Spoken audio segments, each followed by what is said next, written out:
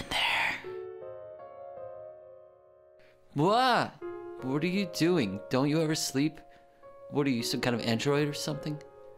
What if I were an android? Would you still love me? well, do you think you could have any feelings? Would you love me still? I don't know.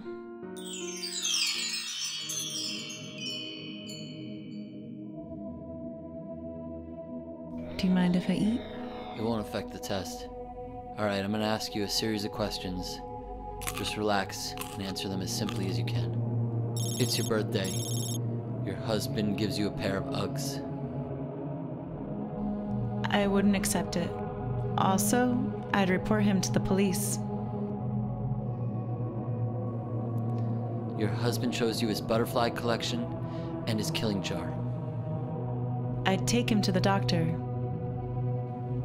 You're watching television. Suddenly you realize your husband is touching your arm. I'd kill him.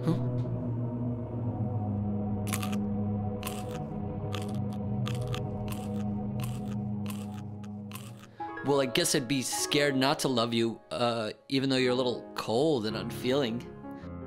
What if I was even more unfeeling, like a rock or a tree? Would you still love me? Like a human, but trapped in a tree. Yeah. I'd have the heart of a human inside of a tree. Like pumping blood through a tree. I guess so. Like you would bleed if I cut you. Yes! Okay. Just like trees do now. I don't think trees bleed. Have you ever chopped a tree down? No. Exactly.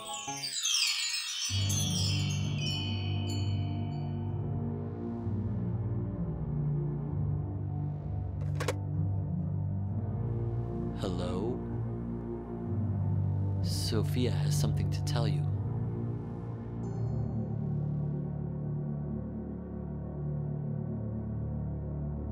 Do you hear her? I will translate.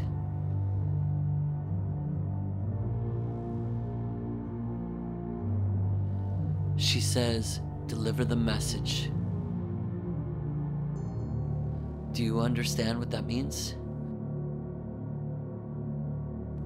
The owls are not what they seem.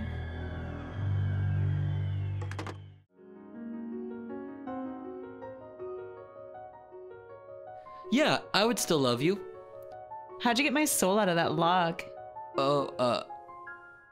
Well, you know, the, the Vulcan mind meld. Like. Go. The thing. You know, not into that? You don't. would you love me if I were a Vulcan? I could do it. Would you keep touching my face like that? I guess I don't have to. Hmm. it's kind of what Vulcans do, though. Good afternoon, Lieutenant Sophia. Science Officer Michael, would you like to transport down to the surface and join me for shore leave? While I find that request highly illogical, I also find it fascinating. I guess it would be pretty cool if you were a Vulcan. Yeah, we could have identical minds with the, you know, the whole mind meld thing. What if we had identical bodies? You mean like I look just like you? No, I'd prefer that. But what if I look just like you? Hmm. Do you still love me? I. I guess so. Do you find me cute? You're okay. Give me a kiss. Um, I've got like a little uh, uh throat thing. Give me the kiss. It's it's really itchy here. Give me a kiss. Okay.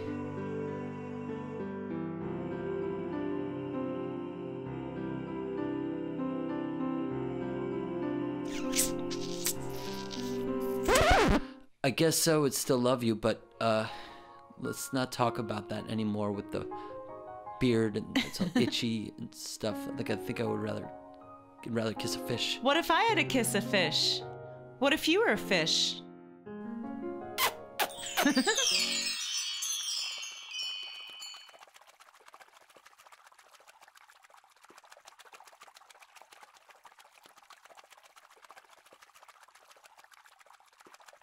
Fine, we don't have to watch Jaws again.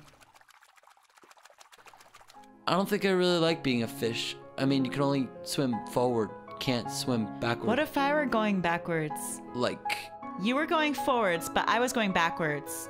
Do you think we'd still be able to hang out?